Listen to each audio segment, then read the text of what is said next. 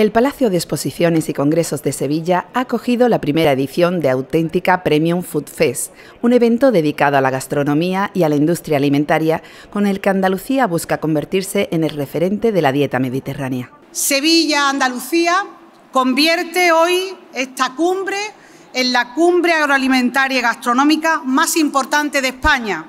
La agricultura, la ganadería, la pesca andaluza son símbolos indiscutibles de la dieta mediterránea que además identifican las tres, el sabor, la salud y la sostenibilidad.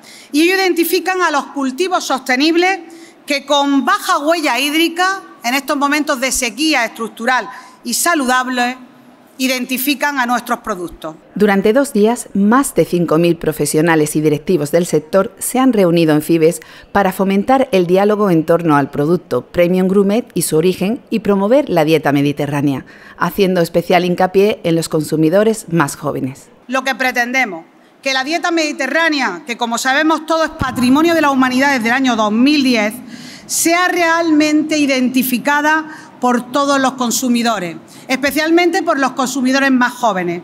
En estos momentos de bajada de consumo en el pescado, en los cítricos, en el aceite de oliva virgen extra, lo que tenemos que tener como objetivo fundamental es todo lo contrario, que los jóvenes puedan apreciar la dieta mediterránea y que la dieta mediterránea es fundamental para su salud y para su vida. Auténtica ha congregado a más de 180 expositores, 200 expertos y profesionales de diferentes áreas relacionadas con la alimentación.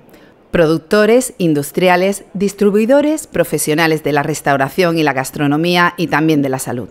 En diferentes auditorios han tenido lugar ponencias para presentar proyectos de innovación agroalimentaria, sostenibilidad de la cadena y sus eslabones, análisis de los mercados y en general retos y oportunidades para un sector en auge. En la parte expositiva, los visitantes han podido conocer de cerca propuestas innovadoras con mucho sabor y para todos los gustos. Andalucía es referente en calidad y sus empresas han venido a demostrarlo. La verdad que hay, muy buenos productos, en general hacemos las cooperativas, hacemos muy buenos productos que no solamente se están vendiendo aquí por cercanía en Andalucía y, incluso en el mercado nacional, sino también que en los mercados europeos son productos que están muy bien valorados muy bien visto y demandado. Pero aún así, pues no se para de ir haciendo, innovando y eso en las cooperativas sabemos hacerlo y hacerlo muy bien. Y esto nos sirve como escaparate para presentar esas innovaciones que estamos haciendo. Las cooperativas agroalimentarias de Andalucía han estado muy presentes en el evento, donde han querido mostrar la fortaleza y el músculo innovador de un modelo cuya base social está formada por 297.000 personas y que generó un volumen de negocio de 10.400 millones de euros en 2022.